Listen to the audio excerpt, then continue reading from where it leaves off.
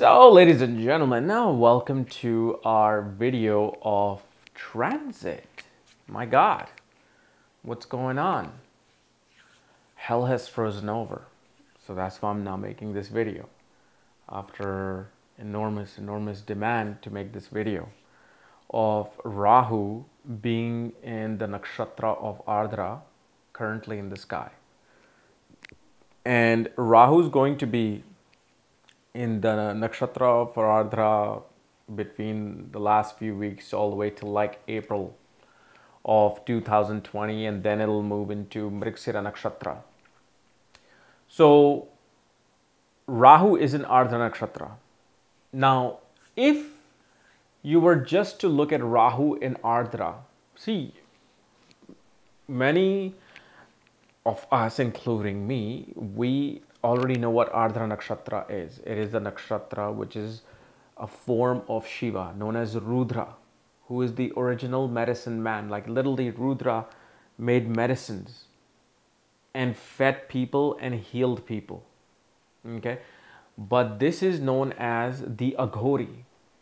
Ardra is the Aghori, is the Aghori form of Shiva, like who goes to Shamshan Ghat and puts on the uh, ashes of you know, burnt humans, which is to purify oneself. It's actually a scientific process as to why someone would rub the ash on their body. Is it actually, it's actually to purify your aura. It's not like some uh, deviant form of tantra. But you got to understand one thing the triggering of the wild side of Ardra because Ardra people are usually very calm. Ardra people are not like going crazy about everything. Sure, they're very animated in their form. They're uh, very dramatic in their approach to certain things, but usually they're calm. What triggers that? The other grahas have to come in and trigger this Rudra, this, this wolf that will howl and scream okay and that's exactly what's happening right now till January 12th 13th why because Saturn Saturn from the sign of Sagittarius aspects the sign of Gemini where Rahu is currently transiting in Ardra Nakshatra. So this is where the trigger comes into play. Where Saturn, you got to understand, is a rebellious planet, rebellious graha and it's looking at an outcast planet, outcast shadow graha, Rahu. And because of that aspect, it triggers it triggers this wild side of Rahu.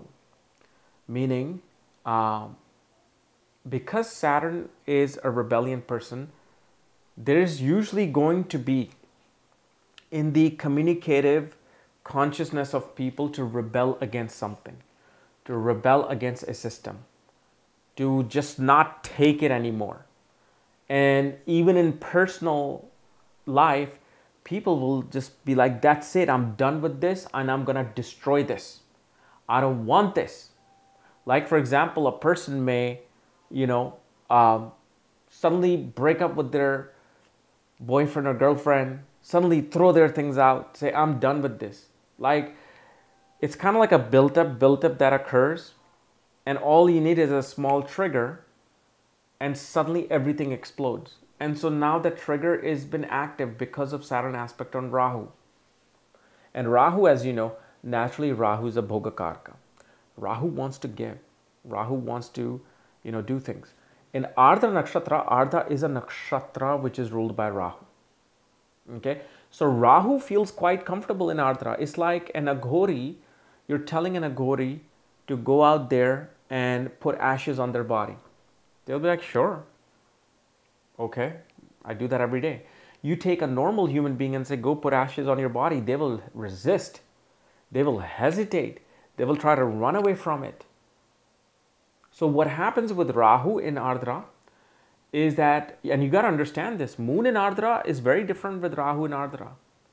Moon in Ardra cannot take this, this wild explosion of emotions. For them, they cannot take the sadness because they know with sadness follows rage. With Rahu and Ardra, Rahu is like, it, I am supposed to do this. I am supposed to clean things. I am supposed to have a clean slate. I am supposed to destroy this because of the fact a new thing needs to come in. But because Saturn aspects Rahu from Sagittarius, it does it in a very straightforward, harsh, judgmental way. One will make a judgment, one will do things in a very crude manner to clean something, to take care of something. And especially in this time period, you will see a major theme of health playing out. Major theme of health playing out. People will seek natural medicine more than allopathic medicine. People will seek, the, like, and, and I'm talking about like in large quantity because we're talking about a mundane transit. We're not looking at an individual chart where I'm going to have to look at the Ashtak because you to understand if you're going to judge a transit of Rahu or any planet, you have to look at the Ashtak Varga. You have to look at the Ashtak Varga to see what score is being given, the total score upon the house that Rahu is transiting, or what score Mercury is giving to the house that Rahu is transiting because it's in the sign of Mercury. And obviously, if you do not know if you what kind of a score you have on your Ashtak Varga, you can check out the link here and get your report from the shop section with option 5 and beyond. And so it'll tell you exactly how this Rahu will behave because yes, Rahu energy can be very wild and very um, uh, not destructive in a way, but it, it, it wants to clean things out rapidly. And usually what happens is a person takes a stance due to the fact Saturn is looking at Rahu. If Saturn wasn't looking at Rahu, uh, people won't be inclined towards taking a stance. Now people are trying to take a stance against authority, stand against something. Why? Because an Ardra person will, you will notice, will always take a stance against their father.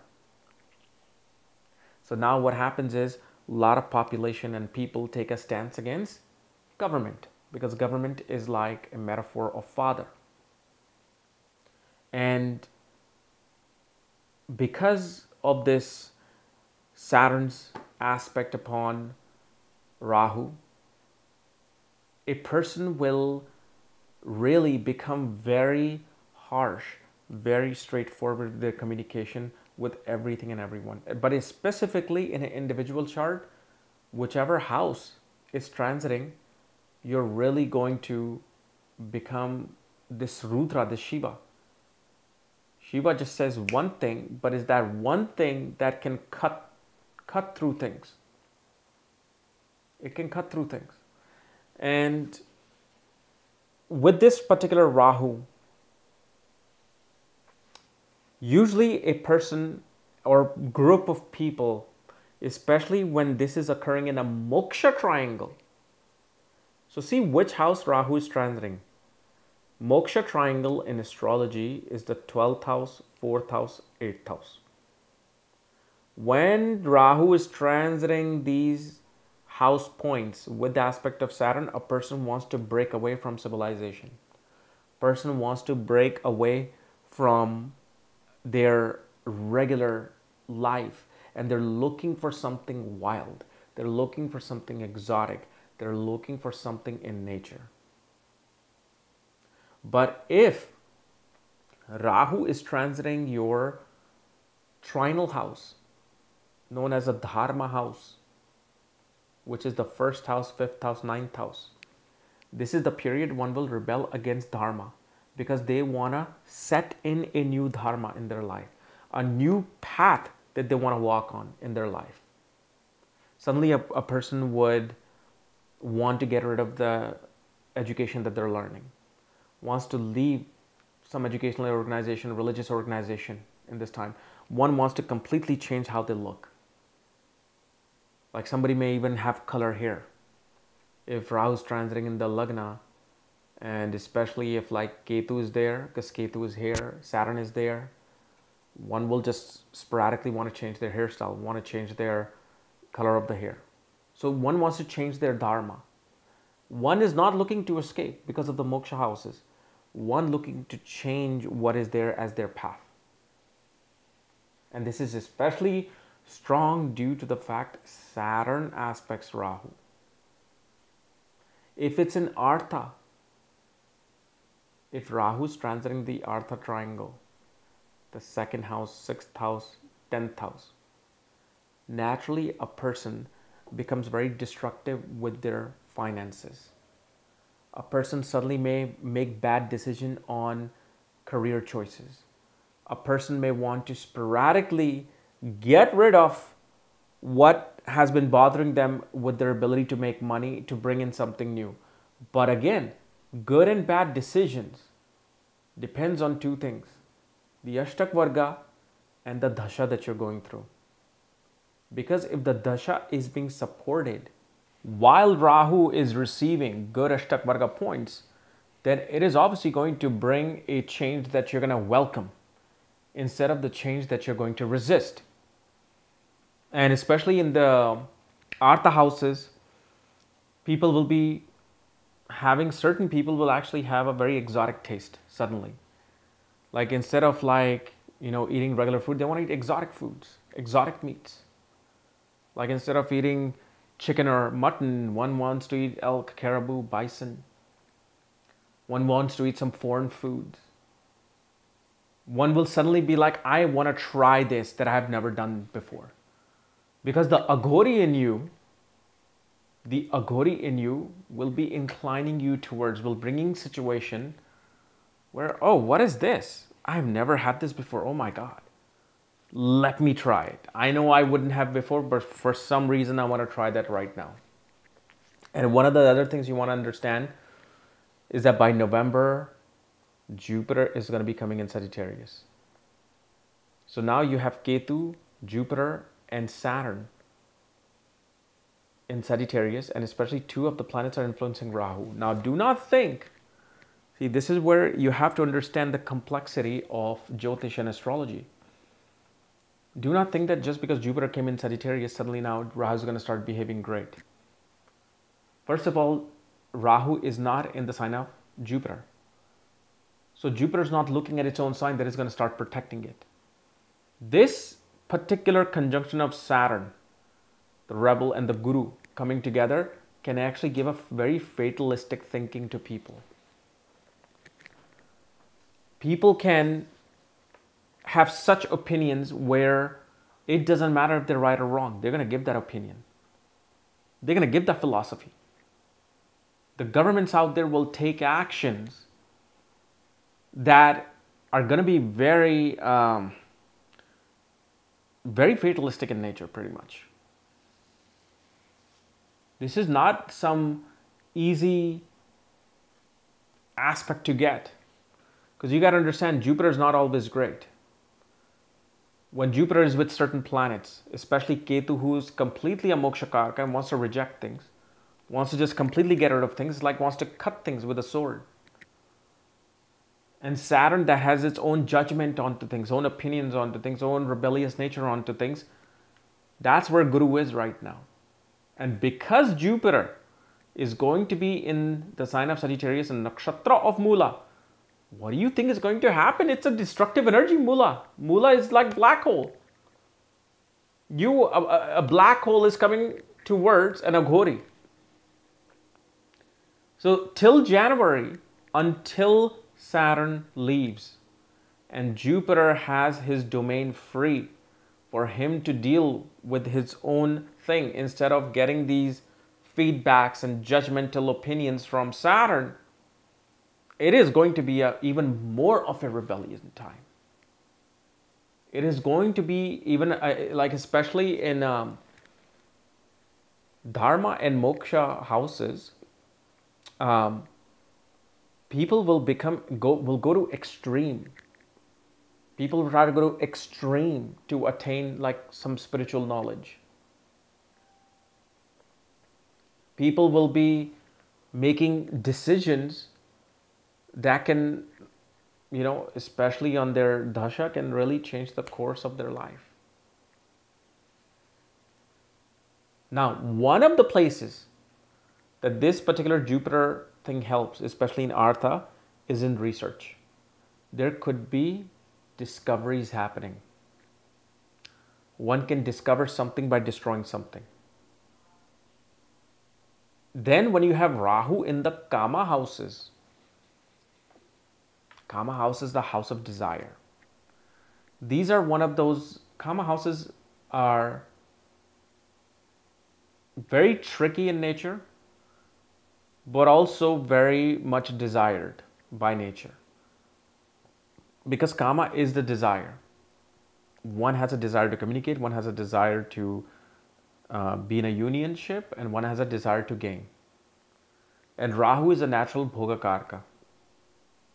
And here in Ardra Nakshatra, it can give things in a wild manner. Like suddenly people can make decision to just travel. No planning, nothing, just traveling.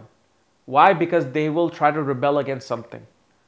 They will try to travel because they need to make sure that this thing does not take place or this thing takes place. And especially with Jupiter and Saturn together after November, one thing you got to be careful of is people who are having this Kama Rahu is to be careful of social media and what you post on social media. Because I know everybody likes to give their opinion. Everybody wants to comment at places. How I well, I like giving my opinion on things.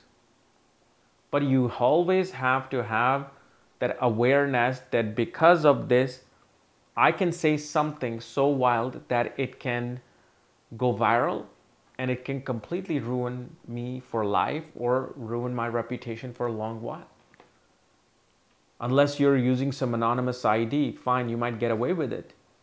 But if you're using your own name, your own image, I mean, you, you, people don't understand whether bad transit or good transit doesn't matter. I mean, one stupid thing can brand you for life because this is like this is like Black Mirror of you know Netflix series where one bad thing will follow you till death.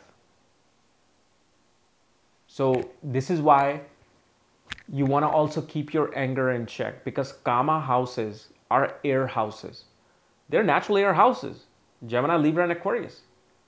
Here, one's anger can go out of control because of the fact they are dealing with social media, dealing with their relationship, or dealing with an organization. And it can prove to be quite fatal too in certain cases if somebody who has a little bit of a loose screw will not mind shooting up the place, which is now a normal thing in US. Because it is Shiva trying to clear now clear out energy. So you got to understand one thing.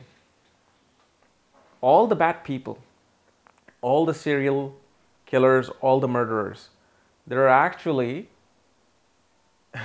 they're actually the soldiers of Varuna.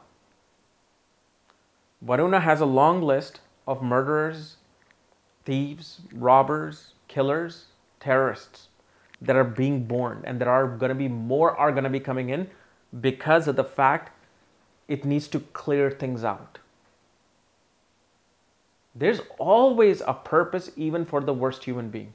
You got to understand that nothing happens without a deeper purpose and a deeper scientific truth, which we might be too stupid to think. We think that, oh, where's God and why is it that God is not helping us? Or, you know, who do we pray to calm this thing down? Well, it's a part of a mechanism of this engineering of universe which is doing its part, doing its duty. And Ardra and Purva, Ashada, and Mula, boy, you're talking about a strategic, destructive force So this is where, because of these air signs, it can push those things into a wild area. And obviously, if Rahu is in a Kama house, it is naturally going to be controlling the air houses in an individual chart. So please be careful of that. Once Saturn leaves, then you will see the much more calmer effect coming in. Then you will be able to then naturally the general public will be able to control things. But at this particular point, it is like Shiva trying to rain down because it needs to clear certain things out. Whether it's our personal life, whether it's the mundane world. Things are trying to clear themselves out, but they're not clearing themselves out in a calm manner. Like it would if, let's say, you know, Rahu was in Pushya or, uh, you know, Rahu was in Revati. You're talking about destruction that comes in where a tornado cleans everything out. And then you can rebuild. Fine. We're going to build, rebuild this town. But it, it didn't happen off a scheduled demolition. It happened off a sudden tornado that came in. That's what you got to remember. Okay? So, guys, this was my analysis of uh, Rahu in uh, Ardra Nakshatra. If you're new to my channel, subscribe below. And if you don't know where your Rahu is and all the other astrological details, for that, check out the links here. Check out my full astrological report, including my consultations, my books on astrology, and link to my academy, Magha Vedic Astrology Academy, where I'm almost now done with the lessons. And after two, three lessons, i will be finished. And then whoever joins, you can just see all A through Z lessons for life. So, anyway, uh, we'll see you later.